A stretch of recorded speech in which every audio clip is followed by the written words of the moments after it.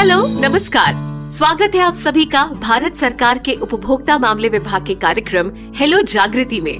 मैं हूँ जागृति, जो हर बार हाजिर हो जाती है आपको उपभोक्ता अधिकारों के प्रति जागरूक करने के लिए। दोस्तों, आज मैं आपको बताऊँगी एनसीएच, यानी राष्ट्रीय उपभोक्ता हेल्पलाइन एक नौ एक पाँच, कैसे बन रही है उपभोक्ताओं की शिकायतों के त्वरित समाधान का ज़रिया। आइए सुनते हैं एनसीएच की सफलता की कहानी, खुद उपभोक्ता की जुबानी।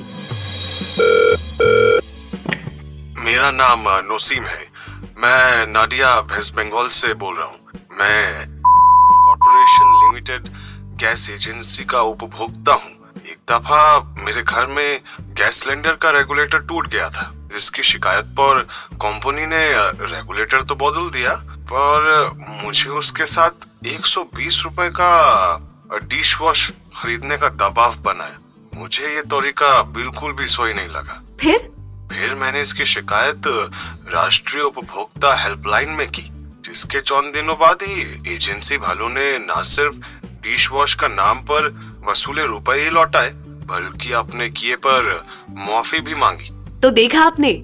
एनसीएच, यानी राष्ट्रीय उपभोक्ता हेल्पलाइन एक नौ एक पाँच, उपभोक्ताओं के अधिकारों के संरक्षण की दिशा में कैसे मददगार साबित हो रही है? अगर आपकी भी कोई उपभोक्ता समस्या है तो फ़ौरन राष्ट्रीय उपभोक्ता हेल्पलाइन के टोल फ्री नंबर एक नौ एक पाँच आरोप कॉल कीजिए। ज़्यादा जानकारी के लिए लॉग ऑन कीजिए consumer helpline dot G O V dot in याद रहेगा ना?